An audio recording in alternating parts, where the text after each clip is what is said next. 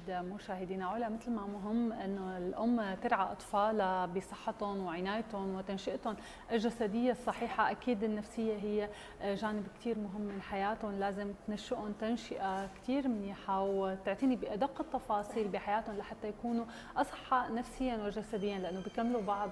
صحيح أكيد الصحة الجسدية والصحة النفسية مثل ما ذكرتي بيكملوا بعض والأطفال أو الاولاد بشكل عام كثير بيتأثروا بالمحيط فدور الأم هون كثير أساسي لحتى إنه يمكن هلأ عم نشوف أكثر شيء تنمر مثلا عم يرجعوا الأطفال من المدارس متنمر عليهم عم يكونوا عم يبكوا عم يتأثروا مثلا رفيقي ما بيدرس فأنا ما بدي أدرس رفيقي عنده هي الشغلة فأنا بدي إياها. حتى عم بيسألوا عن رأي المحيط دائما فيهم صحيح. فإنه هذا الموضوع كثير صاير عم بيعمل حساسيات عند الأطفال. بالفعل.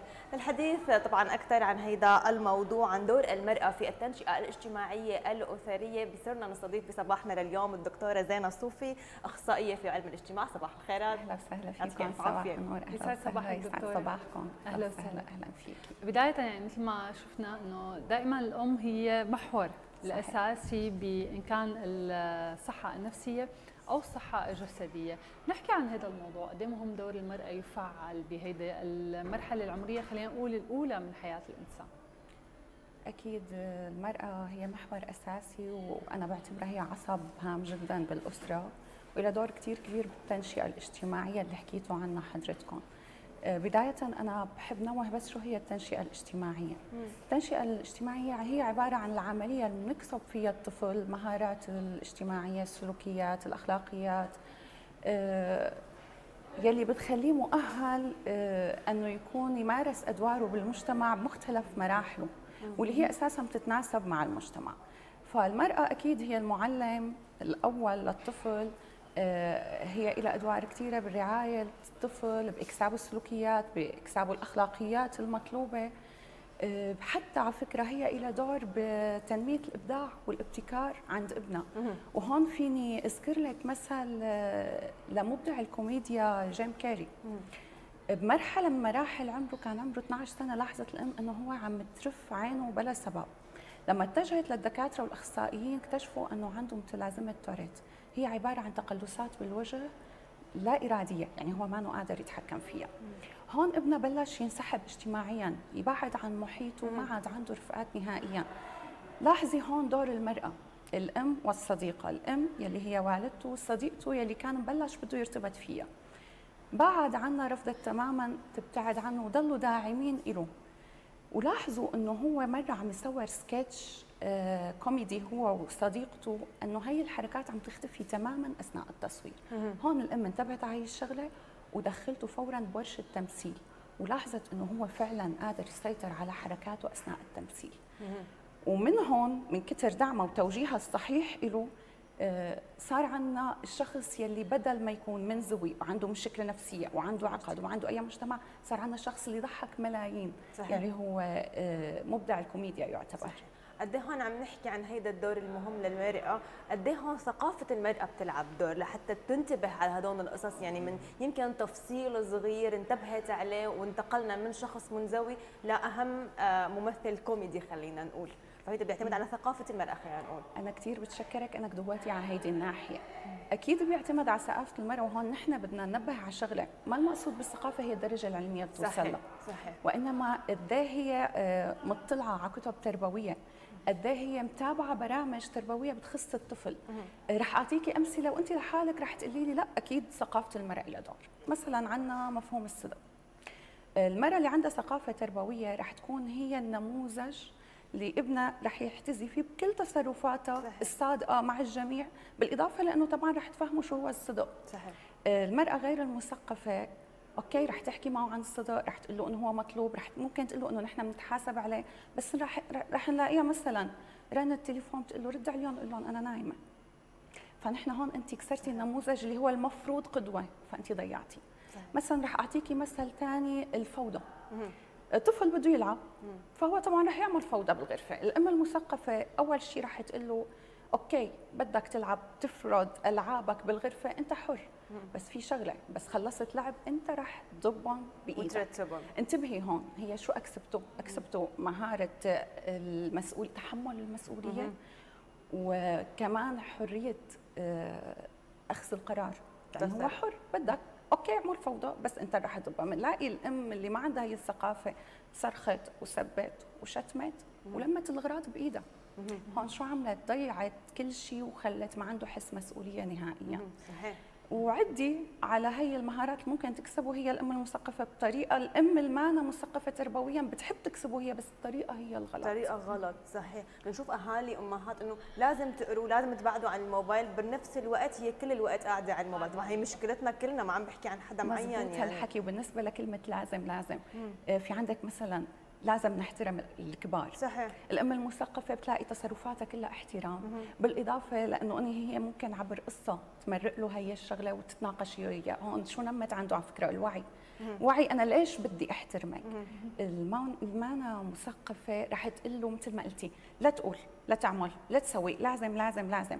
الصبي رح يلتزم قدامها بس هو ما عنده وعي ليش؟ ما عنده إدراك هو ليه ما بيقول هي وليش بيقول هي. صحيح. فهو غالبا بغيابها آه، رح يكسر هي المعايير العاطفه هي لأنه أساسا الطفل بيخلق عنده رفض للأوامر صحيح. رفض للإكراه بيعتبر هيدا إكراه. فلما ما عنده وعي أو إدراك كمان رح تكون ما استفادت من كل شيء اعطته اياه بنلاقي بعض الأمهات يمكن عندها هيدي الأرضية بنلاقيها عم تكون مع أطفالها كل الوقت وعم تعطيهم من وقتها واهتمامها ولكن في أطفال يمكن ما بيستوعبوا مباشرة يمكن ما بي ما بياخذوا هيدي القصص مباشرة بدها تتعب عليهم زيادة.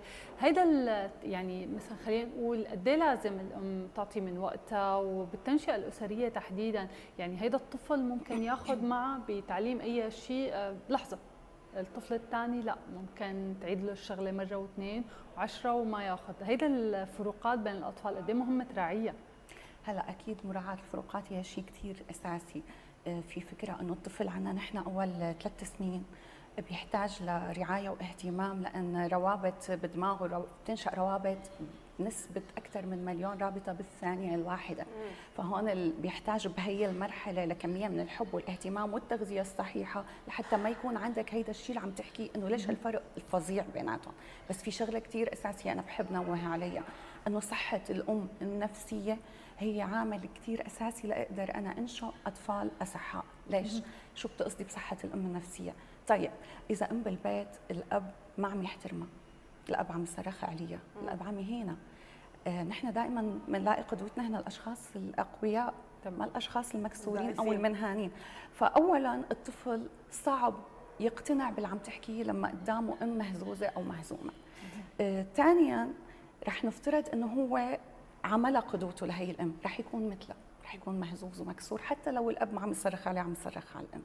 فهون عندنا الشيء الأساسي. للأم تقدر تستوعب الفروقات لتقدر توصل معلومة فعلا بأسهل طريقة كل ولد في له طريقته.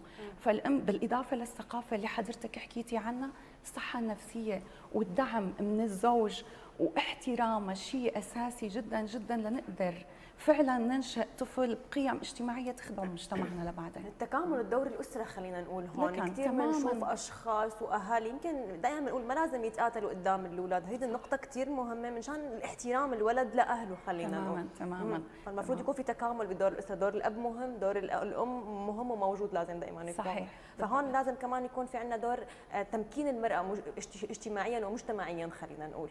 هلأ تمكين المرأة مجتمعيا في ناحية كثير هامة إنه ثبتت الدراسات إنه المرأة هي الحامية للطفل للرجل لكبار السن. صحيح.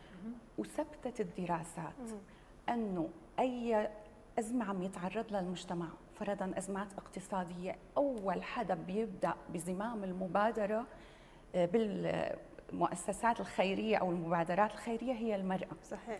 بالإضافة لأنه المرأة هي نص المجتمع مثل ما كلنا بنعرف وممكن أكثر كمان. فتمكينها آه، أو مثل ما قلتي آه، إعطاء دور إعطاء دور أو قرار هو شيء كثير أساسي بالمجتمع لأنه هي إلى دور آه، مثل ما قال نابليون من شي قرنين أنه المرأة التي تهز السرير بيمينها تهز العالم صحيح. بيسارها. فتخيلي قد إيه هي معناتها إلى دور اقتصادي اجتماعي سياسي مم. تربوي. مم. فأكيد في دور كثير كبير للمرأة. هلا هون بيخطر على بالي سؤال إنه موضوع المرأة أو الأم أحيانا بتكون إنه لا أنا ما بدي أطلع برا البيت لأنه أنا أولادي بحاجتي أكثر قد إيه مهم هي تطلع تغير جو تكون هي مع المحيط أكثر لحتى ترجع بطاقة أكبر وتربي أولادها على القصص والسلوكيات أكثر إيه تماما. هلا المرأة آه، في مشكله عم توقف بوجهها بصراحة لما هي بدها تفكر آه، تيجي تطلع برا بيتها. صحيح. أول مشكلة هي الصورة النمطية اللي انرسمت عن المرأة. المراه المثاليه المرأة بيتها وأولادها. وين طالعة التهي بيتك واولادك أحسن. فهي هيدا الشيء عم يعمل خوف عندها هي بالدرجة الأولى. ثاني شغلة إنه المرأة غالبا بتخاف من حكي العالم. يعني أي تصرف أو أي شيء حتى لو حبت آه، تاخذ موقع مسؤولية كثير عندها خوف يحكوا عليها أو على سمعتها أو كيف وصلت. مثلا. بس في إحساس بالذنب أحيانا بيرافقها للأم. للام آه. احد إحساس بالذنب أنا هنا بقول في إحساس بالذنب. إحساس بالذنب. يمكن مثل ما ذكرنا هو غياب السند طبعا أو البديل أكيد عن بتحتاج يعني دائما لازم يكون في رعاية مثل رعاية الأم للأطفال. يعني نحسها دائما تمام. لحتى تطمني وتطلعي من البيت خاصة بالسنين الأولى هلأ بتلاقي دائما أول سنة بتاخذ إجازات أمومة إذا كانت امرأة صحيح. عامله بتلاقي بعدين مثل ما حكيتي حضرتك بدها سند غالبا بتكون الجده الجده حدا كثير بتوثقي فيه. يعني قبل ما يدخل سن الروضة هي ثلاث سنين بصراحة هي فعلا محتاجة لسند سواء الزوج سواء آه، أحد الجدات أو الجد أو الخالة العمة. بس آه، مهم مهم جدا جدا تطلع للحياة الاجتماعية أو للحياة الاقتصادية أو تحقق ذاتها. صحيح. لأن مثل ما حكينا آه، ثقتها بنفسها وقوتها هيدا شيء بيدعم أطفالها أكثر من إنه هي تكون حدا قاضي وقته بس بالبيت. يعني صدقي أنا بالنسبة لي مثلا صديقاتي الغير عاملات الوقت اللي أنا بقضيه بشغلي هنا ما ما بالضرورة عم يقضوه بتربية الطفل. يعني صحيح. ممكن عم يقضوا نوم ممكن عم يقضوا زيارات. لا أنا برأيي يفترض آه، الرجل حتى يكون داعم للمرأة بهي الناحية لأن أغلبهم ما بيروحوا شغل بسبب الرجل. حتى صح. البنات يمكن علا بالبيت بتشوفي البنت دائما بتقول بدي اطلع مثل ماما والصبي بيقول بدي يطلع مثل الأب.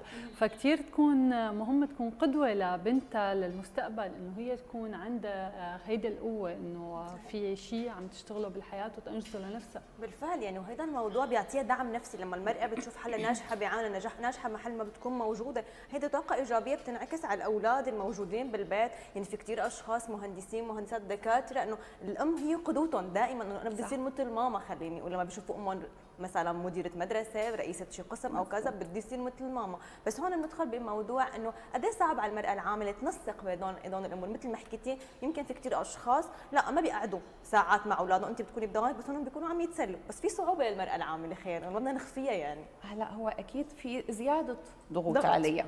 زيادة ضغوط عليها. بس هي إذا هي راغبة هي عندها هيدا الطموح هي عندها هيدا الثقة هي عندها هيدا الوعي إنه لا أنا بستحق طور بحالي وما ضل محلي وما أكون بس قاعدة ببيتي صدقي إنه هي منظمة أكثر من ربة المنزل. ليش؟ مم. هلأ طبعا نحن إذا بدنا نجي ننصح بنقول حطي برنامج. أنا هيدا اللي بنصح فيه حطي برنامج من قبل بيوم لكل يوم يعني كل. ليلة حطي برنامج يوم ثاني بس صدقا المرأة العاملة هي أساسا بدماغها في برنامج منظمه أنا رح فيق كذا رح أطبخ كذا رح رتب رح ودي آه، بطلع على شغلي بيكون بالميلي بالدقيقة نومتها وفاقتها وغداها وشغلها كله محطوط له توقيت. فأنا على فكرة حتى أنا إذا بدي أقولها ما بقولها من لساني بقولها من لسان صديقاتي. صحيح. إنه بتعرفي انت منظمة أمورك أكثر مننا نحن القاعدين بالبيت لأن هم ما حاطين خطة. لأنه نهارهم مفتوح فما بيحطوا خطة. لهيك بتصير اللخبطة. صحيح. حتى نحن لما بنكون قاعدين كل النهار بالبيت بغض في أولويات لا ما بنعمل شيء. بيضيع الوقت على الفاضي. بيكون عندنا وقت إنه شغل ودوام بنكون بتكوني منظمة تماما. حتى لو ما كتابة بدماغك منظمة الخطوات بالضبط. هو هيدا تنظيم الدماغ حتى قبل المنبه بنفيق أحيانا. صحيح. هي ساعة بيولوجية بس خلينا بالفعل. أكيد يعني كلمة أخيرة هيك بتحبي توجهيها لكل الأمهات اللي عم بيشوفونا اليوم لأخذ الدور المثالي بالحياة. هلا قبل كلمة أخيرة بس حابة أذكر مثال كثير صغير وكثير مهم لورجيكم شو هو دور الأم. حلو. آه، صاحب الألف اختراع توماس أديسون. أغلبنا سمع بقصته. بمرحلة آه، تلقى التعليم ثلاث شهور تعليم رسمي ثلاث شهور فقط وتم إرساله مع رسالة عبيته إنه ابنك غبي و لديه إعاقة أو لا يستطيع إكمال تعليمه. الأم الشيء اللي عملته إنه آمنت بقدرات ابنها آه قالت له إنه عم يقولوا لي إنك عبقري ما خرج داوم بالمدرسة عملت له منهاج كامل ببيته ودرسته لصار فعلا عبقري. وشغلة كثير صغيرة كمان بحب ضوي عليها إنه توماس إديسون خطرت بباله فكرة المصباح بسبب حالة إنسانية تعرضت والدته إلى احتاجت لعمل جراحي وكان ليل. دكتور أجل العمل الجراحي لثاني يوم كرمال يصير نهار فهون لمعت بذهنه هي الفكرة إنه ليش أنا آه، ما بخترع مصباح كهربائي مشان الناس ما تضطر تنطر؟ فأنا هون بقول لكم المرأة هي النور. يعني بالفعل. كونه بسببها اخترعوا النور فالمرأة هي النور. وإذا بدي وجه نصيحة للأهالي ما بهم ماذا تقول وإنما يهم ماذا تفعل. وآمنوا بقدرات أطفالكم. ودائما أكيد. الطفل العبقري بينخلق من بيئة صحيحة وبيئة سليمة. صحيح. دكتورة زينة الصوفي أخصائية في علم الاجتماع شكرا. نورتي صباحنا. يعطيك الف عافية. شكرا لكم. يعطيك العافية. نورتي صباحنا دكتورة. أهلا وسهلا شكرا.